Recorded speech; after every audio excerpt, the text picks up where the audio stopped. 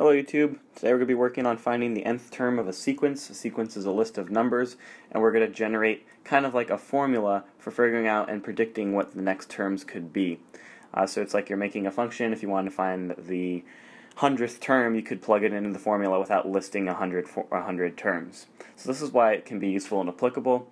Um, but let's figure out a few examples and jump right into it. So if you have a list of numbers, 7, negative 11, 15, negative 19, 23, negative 27, and so on, how can we find the nth term or a formula to generate this exact sequence? Uh, there is a pattern that we can notice. Notice how there's a positive number and then a negative number, a positive number and a negative number, and so on. So to generate, uh, to show that in, in terms of a uh, formula, so you could say a of n or f of x, is what it's called. Um, you can say negative 1 to the n plus 1. So if you plug in your first term, 1 plus 1 is 2. So negative 1 squared would give you a positive number. Then you plug in 2 to get 2 plus 1 is 3. Negative 1 cubed is a negative number. So that takes care of the alternating signs. But what do we notice about the differences between these numbers here? If you have, you kind of have to look at it. Look at each term and the next one after. The difference between, if you ignore the negative signs and the positive signs, the difference between 7 and 11 is 4.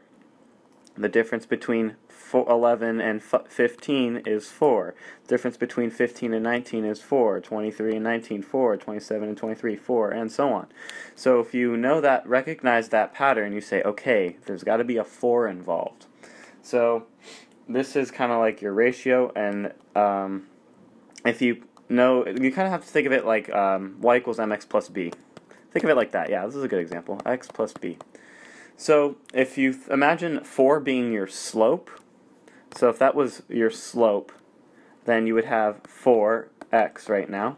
But you want to know that the first term adds up to 7. So you want to get 4x um, plus b equals 7. So what's b? b would be um, plus 3, right? Or 3. So you'd have 4x plus 3.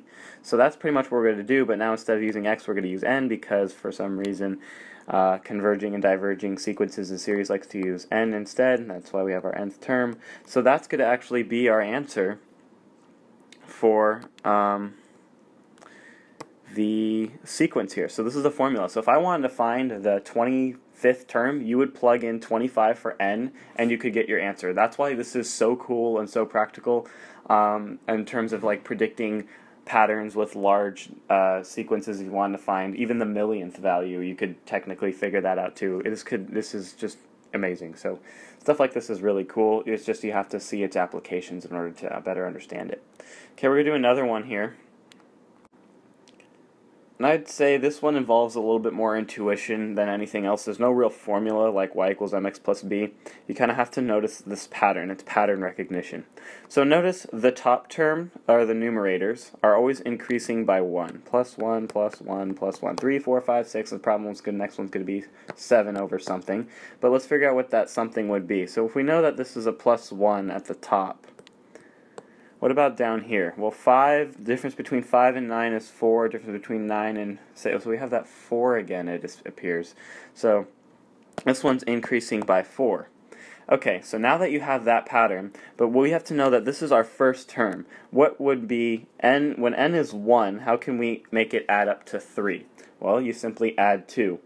Um, so if n is 1, you add 2, and you get 3. So it's our first term. If you have our second term, then you have 2 plus 2 is 4.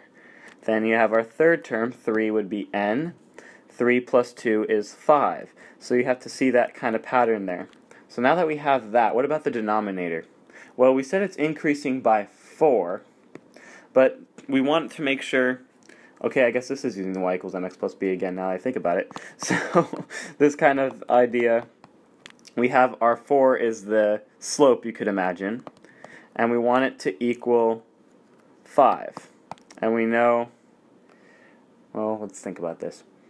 Yeah, so you could say if everything's increasing by 4, we, what would be? b be? b would have to be equal to 1, so that means you would have 4n plus 1. And to check your work to see if that really makes sense, you plug in your first term, and you say, okay, 1 times 4 is 1 plus 1 is 5. 2 times 4 is 8 plus 1 is 9. Hey, look, it's working. So that would actually be your term, but now we have to see if it converges or diverges. So now that we have our function and you want to determine if it converges or diverges, you simply take the limit of the function. I'm not going to write the whole thing, but I'm going to do a little trick I like to show.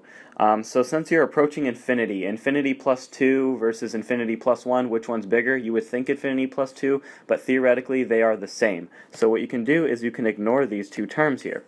Now if you think of this algebraically as uh, the numbers get really, really big, these terms will cancel and they would go to 1, so you would have this equal to 1 over 4. So algebraically speaking, you can manipulate your function by reducing all the unnecessary values and canceling out uh, terms to yield what it would converge to, or in this case. So this series does converge, or excuse me, the sequence.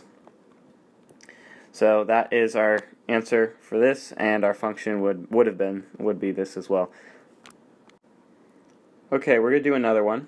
This one's kind of tricky. You have to have some pre like knowledge about sequences beforehand. But if we still take the same approach um, to how we how we use our intuition to figure out problems, what you can do is you, again you notice that it's alternating. So you have this uh, negative one to the n plus one idea in your function. But what else do we have going on? Well, the terms are getting smaller, right? The terms are getting smaller, but by what factor? So you can determine this factor by dividing the second term by the first term. So if you have negative 4 over 12, negative 4 over 12, that reduces to negative 1 third. Now, this is what we call R. Um, notice that it's decreasing by and alternating um, by a factor of one third. And this is something called a geometric sequence. And a geometric sequence has this formula or notation. And what this is saying is you pretty much you take your first term, you multiply it by that r factor here, that common value you found, and you subtract it from, or you take it to the power of n minus 1, and that is a geometric series. Now you, or sequence. Now you can notice this same pattern here. Uh, what's our first term if we follow the formula would be 12. And the r we found to be was negative one third. And it's to the power of n minus 1. So this one, if you had no knowledge of sequences and series, it would pretty much be um, really, really difficult to figure out. Um, but this knowledge you kind of have to recognize beforehand, and that just comes with studying and practice. But hope this helped uh, with determining that, walking through that intuition um, in determining the nth term for a sequence.